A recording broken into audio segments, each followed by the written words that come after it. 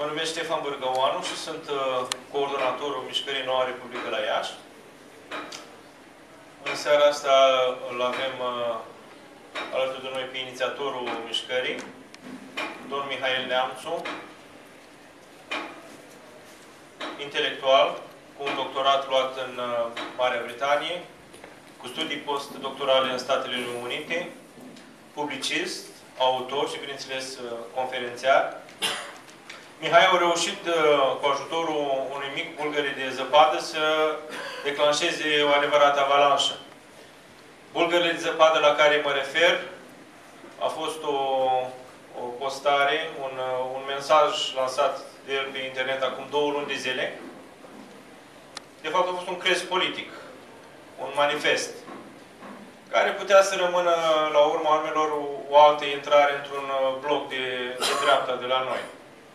Lucrurile nu au stat așa, deloc. Uh, au început să curgă adeziunile, mesajul a fost rostogolit pe net, așa cum spunem noi, până uh, s-a creat avalanșa de care spuneam, adică Mișcarea Noua Republică. În momentul de față avem 20 de filiale, sute și mii de aderenți. Îl rog pe Mihai să ne spună, să ne prezinte mesajul cu care uh, a declanșat această, această mișcare. Mihai? Se aude sau? Se aude? Da. Bună seara, dragi ieșeni, doamnelor și domnilor. Ștefan, îți mulțumesc pentru această călduroasă introducere. Uh, vreau să vă spun că vin uh, împreună cu Daniel Scarlat, director executiv uh, Noua Republică București. Vin de pe un traseu destul de opositor. Am fost la Cluj, într-o dezbatere publică despre politica arestată și Cetatea Libertății, uh, alături de uh, teologul Radu Preda și uh, filologul Adrian Papahagi. Apoi am poposit pentru câteva ore la Botoșani. Suntem aici de dimineață, de la 8. Mâine seară se încheie prezența noastră la Iași. Plecăm apoi spre uh, Brașov, Sibiu, apoi Arad, Timișoara și abia lunea viitoare vom fi din nou la București. Fac o paranteză pentru cei interesați, va exista și o dezbatere la televizor în duplex pe care o să-l fac uh, joi, seara la ora, 9, la ora 21, uh, la emisiunea doamnei Rodica Culcer. Uh, nu mai știu cum se numește, că am participat și eu un an de zile la ea. Uh, va fi o dezbatere, deci va fi o dezbatere, deci, uh, joi seara la ora 21 la TVR1. Despre uh, noi mișcări de dreapta, despre apariția unor noi, unor noi formațiuni, despre partidele politice uh, tradiționale și despre șansa noirii în uh, România. Vin aici la Iași cu inima deschisă, uh, pentru că iubesc acest loc. Am fost de foarte multe ori la Iași înainte. Uh, așa cum spunea și Ștefan, m-am ocupat o bună perioadă din viața mea de istoria ideilor, de la teologie și filozofie până la ce înseamnă uh, ideile politice ale modernității. Vin însă în fața dumneavoastră nu ca un conferențiar, nu ca un uh, om care crede că biblioteca este ultima lui vocație. Da, biblioteca e un spațiu foarte important în formarea oricărei persoane, dar cred că timpul acum este acela al întâlnirilor cetățenești, cum sunt aceste întâlniri pe care și dumneavoastră uh, le puteți avea cu prietenii noștri de la Noua Republică Iași. Vin la Iași cu sentimentul că în acest loc s-a făcut istorie, evident, cu sentimentul că părinții fondatori care au trecut pe aici, uh, haideți să ne gândim doar, doar la Cogălnicianu, care vorbea despre o patrie a libertății și a legalității, acești părinți fondatori uh, ne-au obligat în foarte multe feluri. Vin și la Iași pentru că uh, e un epicentru spiritual de maximă importanță pentru ortodoxia răsăriteană. Vin la Iași pentru că sunt oameni minunați la Noua Republică pe care Uh, i-am îmbrățișat cu inima uh, din prima secundă și sunt oameni care mie mi-au dat sentimentul că uh, merită să trăiești în această țară, merită să trăiești în acest oraș, dincolo de retorica fatalistă, dincolo de resemnarea mioritică cu care atâția vor să ne obișnuiască. Doamnelor și domnilor, sunt aici pentru a vă vorbi despre șapte pași către o nouă România. Este un proiect ambițios și pe alocuri uh, utopic, uh, vor spune unii, un proiect care înseamnă pur și simplu o regândire a modului nostru uh, de a fi împreună în comunitate, o regândire a politicului care trebuie să însemne în uh, primul rând o anumită atitudine față de civilizație și o anumită atitudine față de valori și în abia al doilea rând trebuie să însemne un mod de a uh, parcurge drumul cel mai scurt către resursele materiale ale unui stat. Sunt aici la Iași uh, știind că ați avut și dumneavoastră parte, fără să mai mergem în istoria secolului XIX, de oameni extraordinari care au dat Iașiului substanță verticală, în sens etic, care au dat Iașiului demnitate și onoare. Știu că la opinia studențească în anii 80, oameni foarte îndrăzneți, curajoși, atunci poate la fel de tineri cum suntem noi acum, sau poate chiar mai tineri, au știut să scrie lucruri care n-au fost pe placul regimului comunist. Uh, apoi, știu că și în finalul dictaturii comuniste, în decembrie 89, au fost încercări de a zgudui conștiința uh, ieșenilor și de a trezi apetitul lor pentru libertate și pentru demnitate. Vin deci cu acest sentiment al gratitudinei, că în acest loc s-a făcut istorie, în acest loc anumiți oameni au depășit condiția de pasivitate și de indiferență și s-au implicat atunci când alții le-ar fi râs în nas. S-au implicat în uh, ceea ce înseamnă articularea unui mesaj public cu relevanță națională. La Iași s-a făcut istorie și trebuie să continuăm să se facă istorie, să ajutăm acest proces uh, să aibă loc. Altfel decât însă și-l doresc atâția edili, atâția reprezentanți ai noștri, ai noștri în Parlament. Trebuie să spunem că e o uriașă disproporție între ceea ce a dat bunoare Clujul, când mă gândesc la doamna Doina Cornea sau la Călin Nemeș, ceea ce a dat uh, Iașul, când vorbim despre, repet, tinerii de la opinia studențească, ceea ce a dat Timișoara, ca să nu mai vorbim despre uh, momentul glorios din decembrie 89, pe de o parte, și ceea ce au reușit să ofere aceste orașe în plan politic. Aleșii noștri, etimologic vorbind, ar trebui să fie elita țării. Eligo, eligere în latinește, înseamnă alege. Aleșii noștri ar trebui să fie elita țării. Și de cele mai multe ori observăm în orașele noastre că există aleși lipsiți de orice verticalitate, de orice moralitate, de orice decență. Este inacceptabil, după părerea mea, ca la 22 de ani de la căderea regimului comunist, să avem oameni care sunt aleși parlamentari, de pildă, la București, în timp ce ei își spășesc o pedeapsă în închisoare. S-a întâmplat asta cu un membru al Partidului Național Liberal. Este inacceptabil să vorbim despre reforma statului și să avem oameni în Partidul de Guvernământ acum care sunt arestați uh, nedefinit pentru luare de mită, pentru șpagă, pentru uh, comportamente aberante în orice altă capitală a Europei. Inclusiv ideea de a avea 17 uh, telefoane mi se pare obositoare. Vreau să spun că România e în stare de mai mult. România este în stare de mult mai mult și uitați-vă la cei care ne reprezintă astăzi uh, peste mări și țări.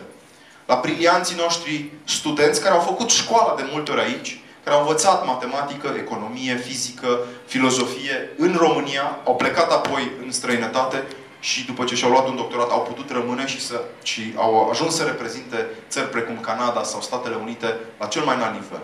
Ei totuși sunt cetățeni de etnie română. Ei totuși sunt cei ce are mai bun România. Ei sunt sarea pământului. Ei sunt, de fapt, uh, cel mai de preț dar pe care am putut să-l oferim lumii în ultimii 20 de ani. Și e păcat ca ei să se uite de departe spre noi, fără speranță, fără niciun licăr de optimism.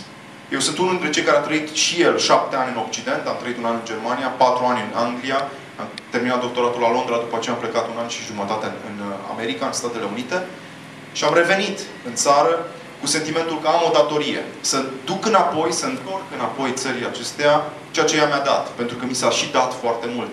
Și o spun în calitate de fost elev al unui impecabil liceu din Arad, Colegiul Moise Nicoară, în calitate de fost student al Universității Babeș-Bolyai, un om care, uh, vorbesc de mine acum, și alături de atâția alții a putut să descopere uh, tezaurul de cunoaștere al civilizației europene în biblioteci, la cursuri, la seminarii. Și pentru că am acest sentiment de gratitudine, pentru că și dumneavoastră îl aveți în atâtea alte feluri, pentru că ați avut și dumneavoastră mentor și ați avut și dumneavoastră dascăl pe care i-ați iubit, cred că cu toții putem fi de acord că merită să te întorci în țara asta pentru a construi, pentru a face ceva.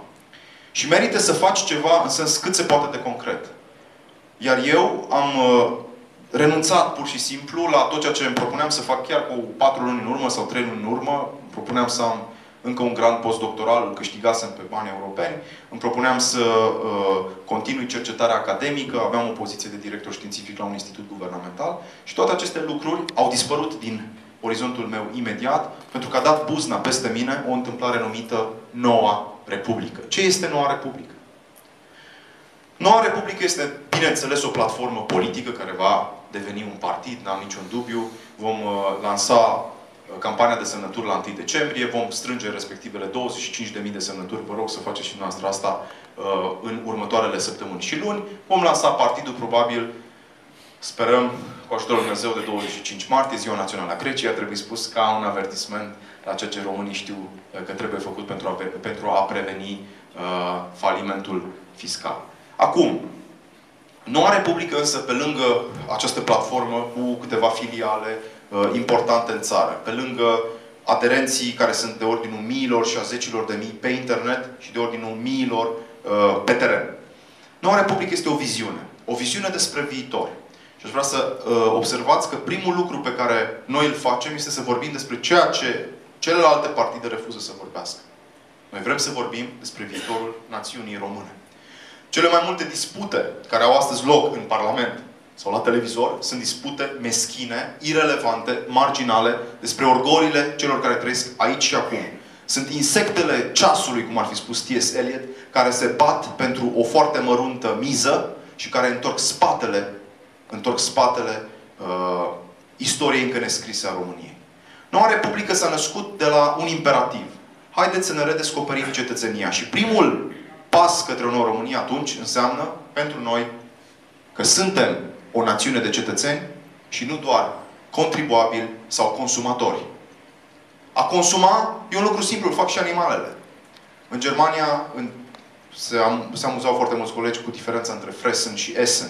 A mânca, a consuma, e un lucru firesc, e datul firii noastre căzute și uh, nu e un lucru care să-ți aducă neapărat o demnitate verticală. A fi însă cetățean a accepta să ieși din zona aceasta căzută a stării de natură și a decide împreună cu semenul tău să împarți niște obligații și responsabilități pentru a te bucura apoi doar de niște drepturi, asta înseamnă să faci o cetate în chiar mijlocul unei jungle. Și cu această întrebare s-au luptat foarte mulți filozofi din antichitate până în modernitate, ce este statul, ce rol are cetatea, cum anume deosebim cetățeanul de barbar. Și pentru mine și pentru dumneavoastră, a fi cetățean trebuie să fie o demnitate non-negociabilă. Un lucru pe care îl actualizăm zilnic. Un lucru care trebuie să uh, impună. Un lucru care trebuie, până la urmă, să ne dea uh, o definiție fundamentală. Aceea de ființe libere, un destin unic și irepetabil. Statul însă există pentru că noi am decis că unele lucruri nu pot fi ușor garantate decât delegând responsabilități și puteri. Unor oameni care cu mandat limitat sunt puși acolo unde se află pentru a proteja niște drepturi naturale fundamentale. Și am să evoc câteva lucruri fundamentale fără de care viața noastră ar fi un coșmar. Și un filozof precum Thomas Hobbes a descris foarte bine acest coșmar al unei vieți care nu este până la urmă uh, protejată de această entitate numită statul. Statul există, doamnelor și domnilor, în primul rând pentru a ne proteja dreptul la viață. Viața e un bun fundamental, e un dar, am putea adăuga, care trebuie protejată. Și statul există pentru ca integritatea mea fizică să fie garantată în fiecare zi. În același timp, statul există pentru ca proprietatea să fie și ea garantată, firește, statele totalitare nu ți-au mai garantat chestia asta și au început să-ți fure tot ce aveai, de la grapă și cal și plug până la uh, întreprinderi nu? și alte forme de proprietate. Asta s-a întâmplat sub comunism. Și în sfârșit, un alt bun fundamental al nostru, al tuturor, este pacea. Pacea socială. Ne place să trăim într-un loc unde nu există violență și unde putem să prosperăm. Unde talanții cu care ne-am, uh, ne născut, cu care am fost înzestrați, pot să se mulțească. E bine, doamnelor și domnilor, de foarte multe ori când stați de vorbă cu dumneavoastră sau cu colegii pe care aveți la serviciu sau cu prietenii pe care aveți în anumite uh, împrejurări, Când stați de vorbă ei, vă vor spune că totuși ei își dobândesc cetățenia de la stat. Și că statul e de fapt uh, cel care există uh, înaintea cetățeniei. Ori acest lucru este fals. Poate pare o discuție complicată, poate pare un lucru prea filozofic. Și vă, și vă spun că nu e așa. Pentru că e fundamental ca noi să știm atunci când vorbim cu reprezentanții statului cine sunt ei cu adevărat. Ori ei sunt slujitorii binelui comun. Nu noi existăm pentru ei, ci ei există pentru noi. Cred că acest microfon trebuie schimbat. Ei există pentru noi, nu noi pentru ei. Și această răsturnare de perspectivă schimbă totul în viața dumneavoastră. De la modul în care îți iei o chitanță, de la modul în care îți iei un cazier fiscal, de la modul în care negociezi sau nu cu uh, reprezentantul în teritoriul al Ministerului Educației. O anumită programă școlară. Totul se schimbă atunci când tu înțelegi că demnitatea ta fundamentală este aceea de cetățean și că statul există pentru a te sluji. Pentru că el, statul, primește banii tăi prin taxe și impozite și nu invers. Nu statul este proprietarul banilor dumneavoastră când vorbim despre sănătate. Nu Ministerul Sănătății și nici Casa de Asigurări este proprietarul banilor strânși în uriașul coș de 5 miliarde de euro, numit uh, Fondul de Sănătate, ci noi suntem ca pacienți și ca asigurați proprietarii acestor bani. Din păcate însă, ne-am obișnuit ca statul să ne trateze cu dispreț, să ne calce pe bătături, să ne abuzeze ad infinitum chiar. Uitați-vă când o, de pildă, întreprinderea statului, iau CFR-ul ca exemplu, întârzie bunoară un tren cu două, trei ore.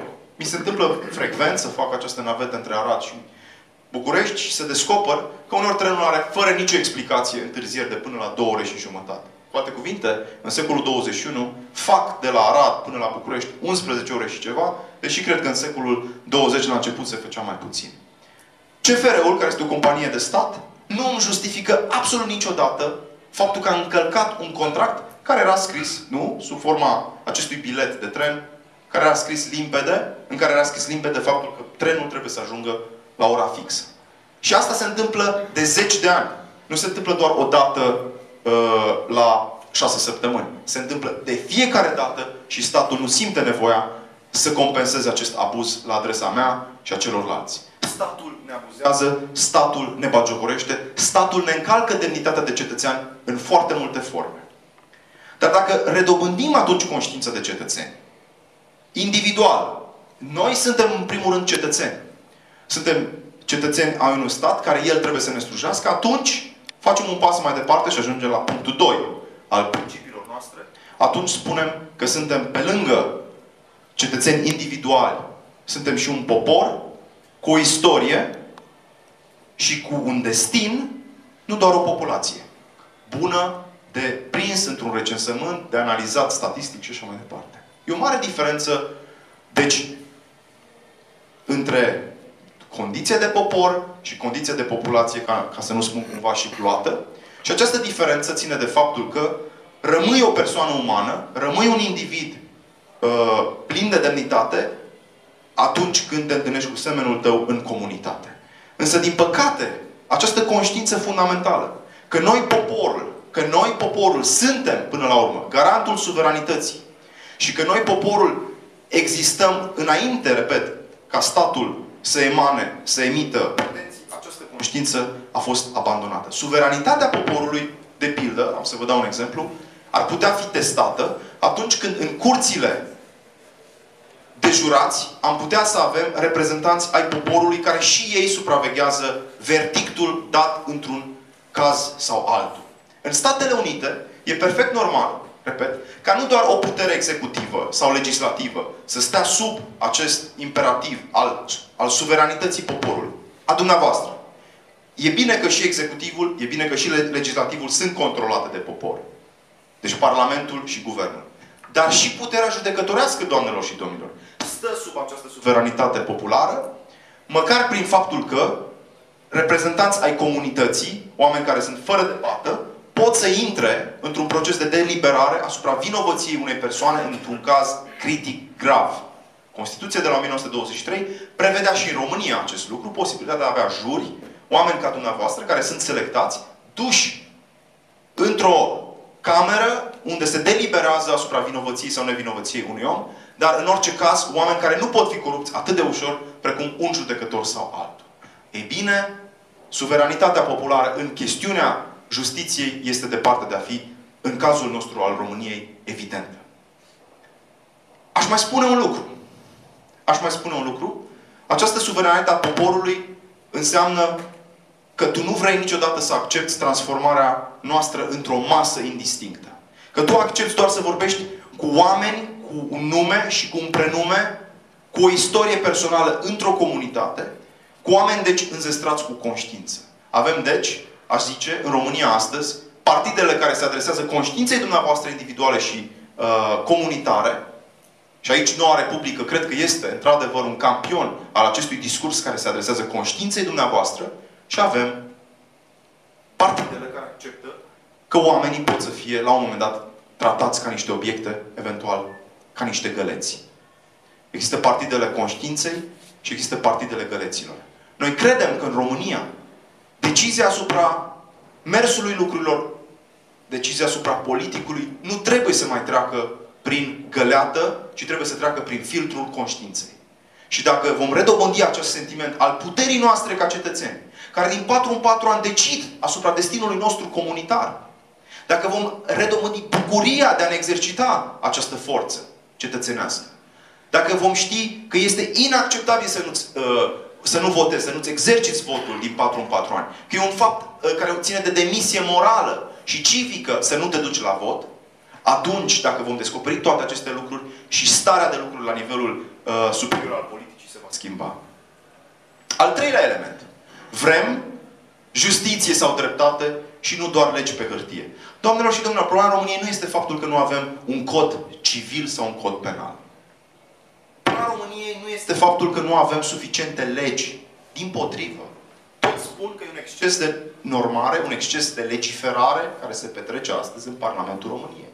Chiar prea multe legi stufoase și contradictorii sunt cele care împiedică piața liberă să funcționeze. Deci justiția, ar trebui să ne gândim, nu stă într-o bibliotecă, într-un raft uriaș de precizări, norme, metodologice, texte și așa mai departe. Ar fi prea simplu. Și aici trebuie să ne gândim totuși ce este de fapt dreptatea. Este în primul rând un strigăt al sufletului nostru. Strigăm pentru dreptate întotdeauna. Și nedreptățile ne obosesc. Strigă și psalmistul David în Cartea cea Sfântă, dar strigă și eventual un mare filozof precum Platon, care vorbea despre dreptate ca despre o virtute. Ce este un om drept? Pentru Platon, omul drept este un om care este în stare să-și înfrâneze poftele cele de sub pântece și mai jos de sub pântece. Este un om care are curaj la nivelul diafragmei și un om care are discernământ la nivelul acesta în înțelepciunii practice. Când toate cele trei stau bine împreună, atunci ai și capacitatea de a da un verdict drept. Într-un caz anume. Cu alte cuvinte, știți sigur și dumneavoastră, bătrâni din satele de odinioară ale României, care fără să aibă școala în sensul academic uh, parcursă, nu? Fără să aibă eventual diplome în această disciplină numită dreptul, puteau judeca drept. Puteau da un verdict într-o chestiune și sfatul lor sfatul bătrânilor pe de-o parte sau decizia lor de multe ori era cea mai înțeleaptă pe, pe care o putea lua comunitatea. A redescoperi dreptatea ca pe o practică cotidiană. Ca pe un fel de a fi mai degrabă.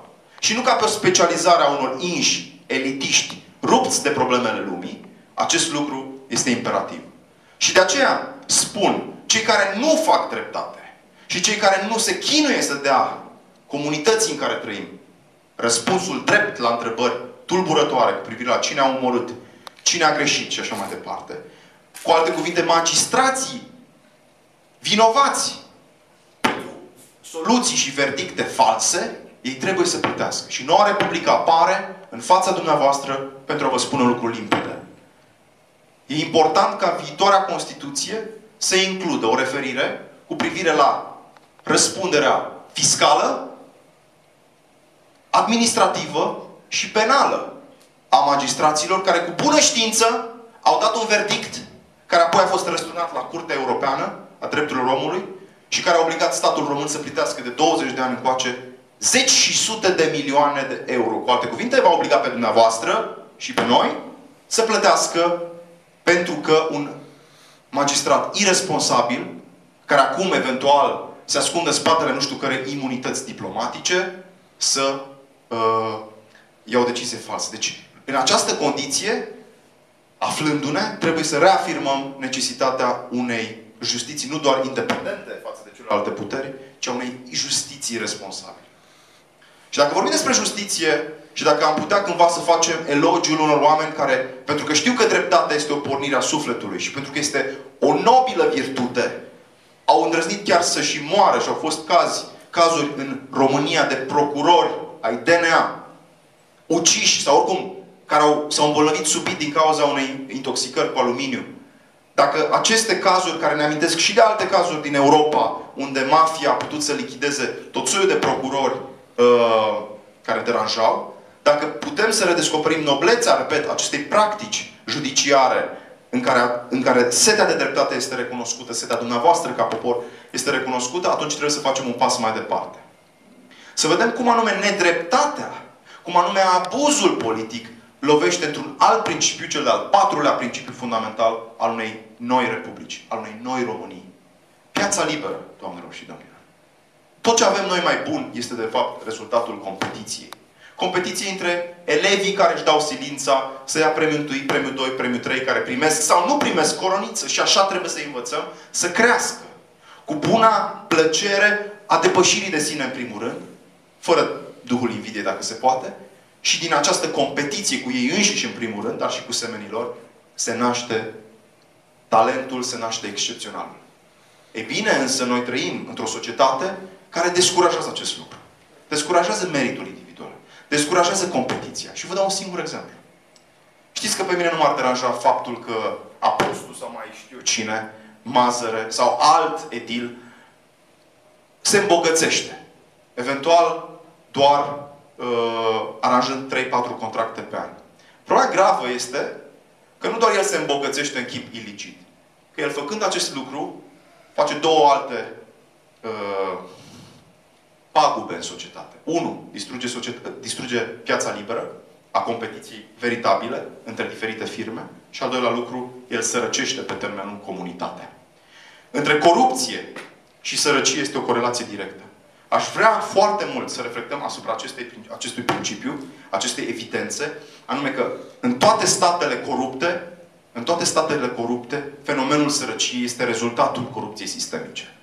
Nu doar că bagă bani în buzunar și se duce cu ei uh, în Brazilia măirită, ci nu doar obscenitatea cu care el sau ea fac acest lucru e, de, e deranjant. Ceea ce este grav este că în chip nevăzut, acea comunitate este spoliată, este privată de bruma de bunăstare pe care ar fi putut să o aibă. Și că în loc să faci un rondou cu 2 milioane de euro sau uh, mai știu eu ce sens giratoriu cu 2 milioane de euro, mai bine îl făceai cu 100 de mii ca să rămână încă 900 de mii pentru o investiție reală și durabilă în comunitate. Însă aceste investiții nu se fac în sensul binelui comun și în sensul bunăstării comunității, pentru că avem astăzi în România o coaliție transpartinică între politicieni care își dau mâna, după principiul lui Hrebenciuc 70 și 30, 70 luați voi la putere când sunteți la putere și ne lăsați pe noi 30 când suntem în opoziție și invers când facem rocada. Această coaliție transpartinică a decis că dumneavoastră sunteți, iertați-mă că vă spun, proști. Că nu vedeți, că nu vă prindeți de ce străzile din Iași arată acum la fel ca și acum 10 ani. Că nu vă prindeți de ce taxele și impozitele plătite în fiecare zi de oameni vredici, precum Ștefan și alții, nu ajung în binele comunității, ci ajung mai degrabă în buzunarele lor și ale partidelor lor. Problema este, deci, că ei vă disprețuiesc profund. Problema gravă este că, pe lângă acest dispreț moral, pe care îl emană, ei îngroapă, reușesc să îngroape pe termen scurt și lung, libera inițiativă. Când un partid fixează o licitație cu o firmă care s-a născut al altăieri pentru doar acel contract, atunci partidul, în mod indirect, aflat la putere, sau edilul, sau mai știu eu, autoritatea aflată la putere, îngroapă munca, talentul, efortul de zi cu zi a celor care se trezesc dimineața de vreme și se culcă seara târziu și care vor să ducă atât o pâine acasă copiilor lor, cât și plus valoare în comunitate. Cei care sunt cu adevărat buni, cei care ști să facă cu adevărat și un, și un pod, și un drum, și o bordură, și un aranjament floral, dar eventual și școli temeinice, aceia sunt îngropați în timp ce o clientelă apropiată de centrul puterii politice beneficiază de pe urma banilor dumneavoastră. Piața liberă, deci, spunem noi, și nu monopolul de stat sau privat. Nu există, de fapt, monopol privat, există întotdeauna monopolul de stat, dar statul uneori are complicități și intoxică și piața privată. Sunt cazuri, vom putea vorbi, uh, interesante în care firme private, pentru că au aceste relații privilegiate cu politicul, ajung să se salveze de la faliment, în timp ce cele care sunt corecte și care nu vor să se ocupe de mituirea politicului, pentru că nu e natura economicului să mituiască politicul, firmele acestea de multe ori dau kicks. Și acum ajungem la un alt punct. Justiția am spus, am spus uh, cetățenie, am spus condiție populară, am spus conștiință populară a unei națiuni, am vorbit și despre piața liberă, dar trebuie să vorbim și despre memorie. Trebuie să vorbim despre memorie aici, pentru că o națiune fără trecut nu poate să aibă și viitor. Și din păcate noi trăim astăzi într-o cultură, doamnelor și domnilor, publică, într-o societate în care falsele modele sunt mereu aruncate în fața noastră. Atât în mediul politic, cât și în mediul social, în timp ce uh, adevăratele modele care se hrănesc din pilda celor de, de odinioară sunt marginalizate. E inacceptabil, doamnelor și domnilor, cred, să faci elogiu unei Margaret Thatcher în timp ce pozezi în, uh, într-un latex porno, iertați-mă această expresie, este inacceptabil să crezi că reprezinți conservatorismul lui Pepe Carp în timp ce ești un bun slujitor al vechii securității. Această lume a imposturii, această lume a vulgarității, această lume a formelor fără fond, toată, toată această lume există. Pentru că noi am trecut de la o venerare cinstită și autentică a reperelor din trecut la un prezent superficial în care amnezia ne definește ca popor. Sunt oameni care nu știu să spună, oameni politici care nu știu să spună care sunt modelele lor și care uh, eventual să aibă rădăcini în perioada interbelică, dacă nu cumva în sfârșitul de secol XIX. Fac o paranteză pentru că suntem la Iași. Pentru că suntem în orașul Junimii. Pentru că suntem în locul unde Maiorescu și Eminescu au discutat despre sensul și chemarea specifică a națiunii române atunci foarte, atunci foarte tânără. În 1812 noi nu contam ca națiune pe harta Europei. Noi nu contam. Cancelarele europene nu știau nimic despre noi. În 1912, cu câțiva ani înainte de război, eram curtați de o parte și de alta. Și acest lucru se datorează geniului politic și generozității civice a unei uh, briliante clase de intelectuali publici care aveau, intelectuali aceștia, marea lor majoritate, trei atribute.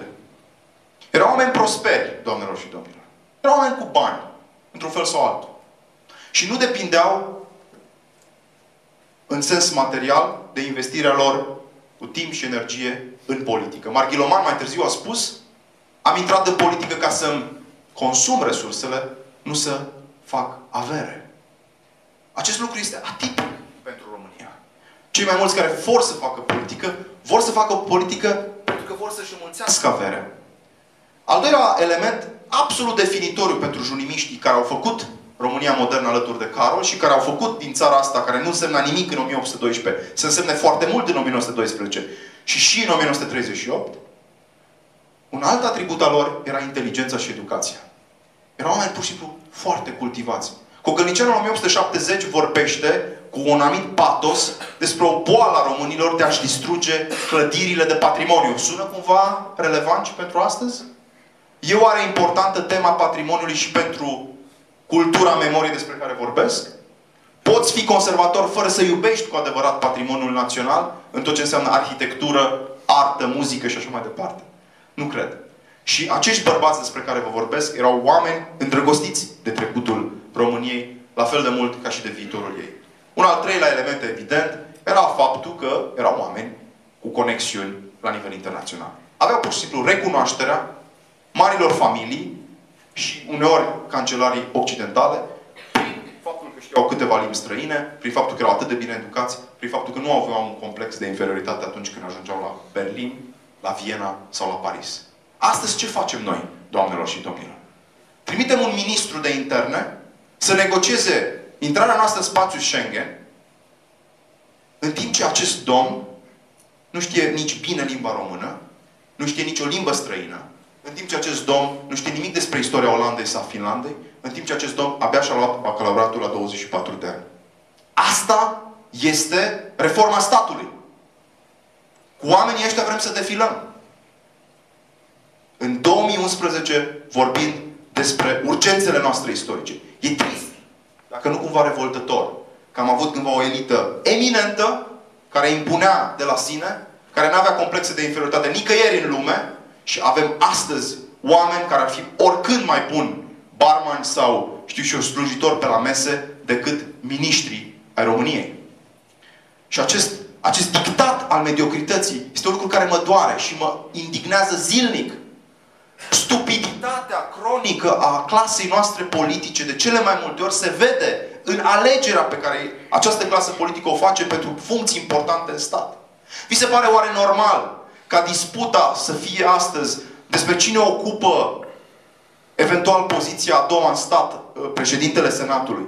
Și nu mai degrabă o discuție despre cum cineva care vrea să fie președinte a putut să fie la mâna unui interlop care și-a bătut joc de statul român și înainte 89 și, de, și după 89. Un candidat la președinție perfect conștienți de legăturile sale cu zona interlopă, decât, știu și eu, disputa de orgolii între Ponta și John.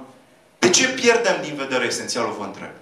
Și pierdem din vedere esențialul și mă întorc pentru că pierdem din vedere memoria acestei națiuni. Pentru că nu știm cât de buni am putut să fim odinioare. Nu știm statura unor oameni de stat precum Pepe Carp. Nu știm care era statura chiar și a unui Ionel Breteanu despre care se spunea că era o enciclopedie ambulantă și chiar statura lui Carol al II-lea, acest rege playboy adevărat, dar care putea ține prelegeri în fața Academiei, Academiei Române uh, liber, vreau să spun, am uitat-o. Statura intelectuală acestor oameni a fost uitată. Și e foarte trist și pentru că am uitat și pentru că trăim în amnezie, ne permitem să acceptăm oferta prezentului. Suntem în stare de mult mai mult.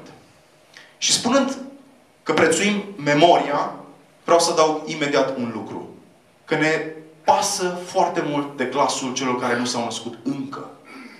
Noua Republică există pentru că noi semnăm zilnic contractul cu cei care au fost, cei care sunt și cei care vor fi. Nu doar cei care au fost contează, nici doar dumneavoastră contați, nici doar eu, ci contează cei care nu s-au născut. Și care vor plăti datorii și care vor trebui să primească o ștafetă din partea noastră. Ce, vom le, ce le vom lăsa? Ce mari obiective le vom preda? Cum arătăm noi în oglindă peste 20-30 de ani? Este o întrebare fundamentală. Glasul celor care nu s-au născut încă trebuie și el auzit. Și a face politică pentru mine, repet, înseamnă să particip la o dezbatere despre viitor, la fel de mult ca la o dezbatere despre resurse și despre alocarea lor în prezent. În sfârșit, suntem oameni care aparținem unei tradiții iudeo-creștine, unei tradiții vechi, care a dat aceste Europe repere spirituale uitate astăzi. Credem că trăim o criză, trăim o criză economică, trăim o criză uh, financiară, dar trăim și o criză morală profundă astăzi, în România și în Europa, care ne obligă să ne punem întrebări cu privire la valorile profunde care ne pot ține împreună. Măcar la dimensiunea socială, dacă nu cumva cea mistagogică a creștinismului, ar trebui să reflectăm din când în când, întrucât de multe ori statul secular care a venit să promită servicii și să promită bunăstarea a eșuat. Și mă gândesc acum că măcar în planul filantropiei, într-o parohie, într-o comunitate poți să găsești mult mai multe pilde de generozitate gratuită decât adesea în instituțiile publice de stat care se obligă să aibă grijă de cei sărmani și de cei suferinți. Credem că aceste valori, credem că aceste virtuți ale tradiției creștine pot să pătrundă în alveolele societății românești, pot să hrănească cetatea și comunitatea, fără însă să pierdem vreodată, insist, dimensiunea seculară a statului. Cred că statul secular este o achiziție a modernității de care nu ne putem despărți. Cred că arbitrajul pe care trebuie să, să-l facă statul e unul neutru, dar în același timp cred că o societate insuflată, hrănită, uh, care e motivată de aceste valori, e o societate mai puternică, e o societate care are încredere în sine, care știe de unde vine și încotro se duce, e o societate care poate să opună acestui val nihilist de antimodele, să opună sau să contrapună acestui val cultural nihilist, uh, secular, poate să contrapună o veritabilă panoplie de eroi și de sfinți. Cred că este foarte important, deci, să nu ne întoarcem spatele cu trufie progresistă la trecut uh, și să asumăm cât mai mult din ceea ce are el cel mai bun. În sfârșit, toată această viziune pe care v-am evocat-o aici presupune o nouă Constituție. Redactarea unei noi Constituții poate că nu știți, dar noi din punct de vedere strict juridic suntem acum definiți de proiectul constituțional al lui Ion Iliescu și Antonio Iorgovani. Bun, Constituția se poate amenda, dar ea nu poate fi amendată atât de mult încât să scap de paradigma impusă de Ion Iliescu în anii 90 și firește, prima republică, dacă e să facem și această excursie în timp, a fost Republica lui Gheorghe Udej, Republica Populară, Republica apoi moștenită de Nicolae Ceaușescu, de care noi ne-am despărțit în sânge. O nouă republică înseamnă poate a treia republică și singura adevărată, Republica dumneavoastră, a cetățenilor uh, liberi și puternici. O nouă republică trebuie să înceapă, în opinia noastră, cu următorul preambul. Noi, cetățenii români, de pretutindeni. În corpul politic al națiunii române trebuie să regăsim și vocea celor care au plecat în ultimii 15 ani, mai ales, care au plecat din țară în motive foarte vitrege, în, în, în circunstanțe foarte vitrege și din motive foarte întemeiate adeseori. Cei care au plecat trebuie să poată reveni, măcar sub forma votului în corespondență. Cei care au plecat și care ne-au susținut financiar atâta timp, prin Western Union și alte lucruri, aceștia trebuie să primească respectul nostru. Îl primesc oare, vă întreb cetățenii români, acest respect de la statul român? Ca unul care am stat ore în șir pentru a vota la Londra sau la München.